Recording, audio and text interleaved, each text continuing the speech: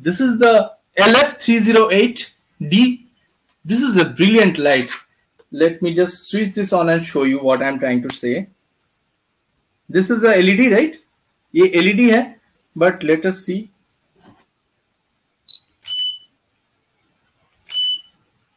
This is a LED cum light आपको जब चाहे आपको इसको एलईडी लाइट की तरह यूज़ कर सकते हैं यहाँ पर एलईडी और फ्लैश का ऑप्शन है so you just press that this becomes LED a very powerful good LED and when not required आप इसको एज अ फ्लैश की तरह भी यूज़ कर सकते हैं तो काफ़ी पावरफुली ये इसका लाइट फैलता है।